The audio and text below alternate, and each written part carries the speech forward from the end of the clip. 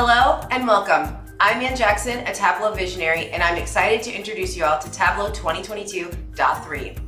This release has a ton of exciting new innovations, so let's dive right in.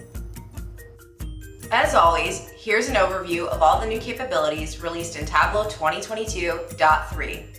With these new features, you'll be able to easily unlock insights about your data at scale.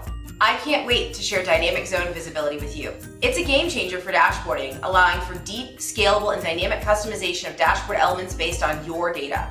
While all of the new features are great, I want to direct your attention to the top highlights of this release. To start us off, we have Data Guide. Data Guide is a new pane that provides helpful information about a dashboard and the data behind it. With Data Guide, you can understand if the data can answer your questions, build trust that the data is accurate, and establish confidence in you and your audience's understanding of the viz. Data Guide also introduces two new tools that help you direct focus so you can get to insights faster.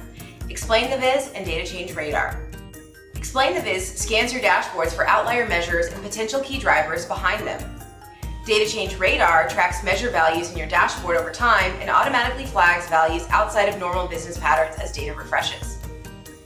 Next up, we have table extensions.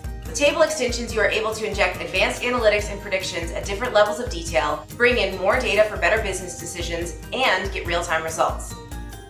Table extensions brings deep analytics and data shaping with code and APIs to the core of Tableau. Now you can query tables of data using Tableau's data model and pass it to analytics extensions like Python, R, and Einstein Discovery for analysis, reshaping, or enrichment, and return the result tables to Tableau just like any other data source.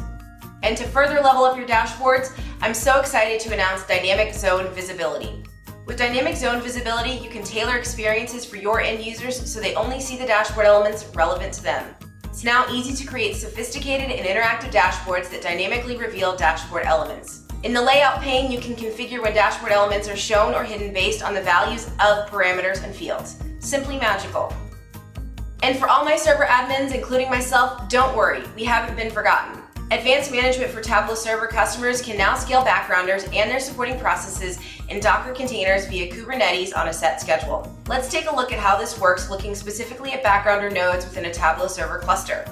During times when backgrounder jobs are minimal, the standard resources suffice.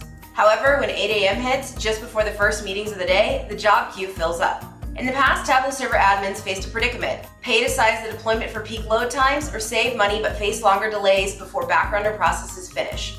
Through peak time, this functionality ensures jobs are quickly assigned thanks to the additional resources, keeping data fresh and promptly sending subscriptions when stakeholders expect.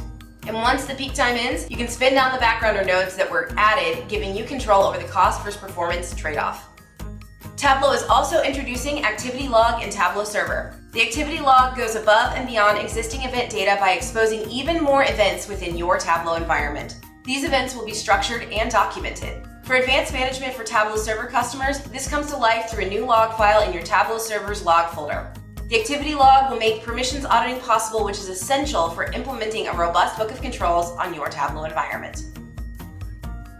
Thank you all for joining. Those are just some of the amazing features of Tableau 2022.3.